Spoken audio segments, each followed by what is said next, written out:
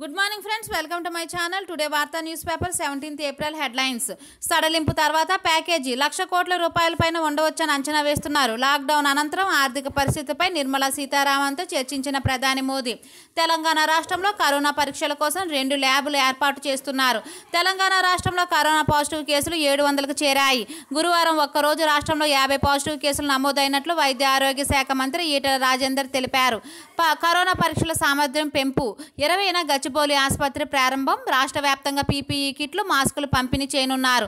వైద్యులకు అన్ని రకాల సౌకర్యాలు కల్పిస్తామని చెప్పిన ఈటెల రాజేందర్. రాష్ట్రంలో ప్రత్యేక మార్గదర్శకాలు.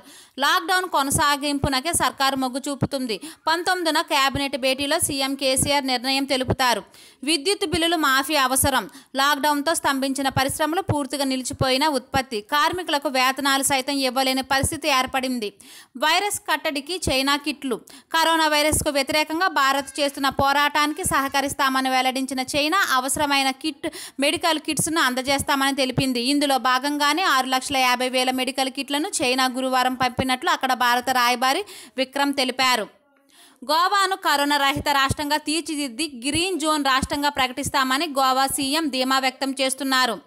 కరోనా విజృంభణ నేపథ్యంలో నెదర్స్లాండ్లో ఇంటెలిజెంట్ లాక్డౌన్ ఏర్పాటు చేశారు.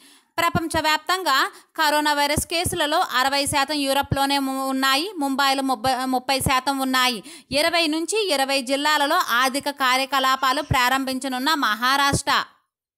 అమెరికాలో కరోనా వల్ల మృతి చెందిన వారి సంఖ్య ముప్పై వేలు పైనే దాటింది.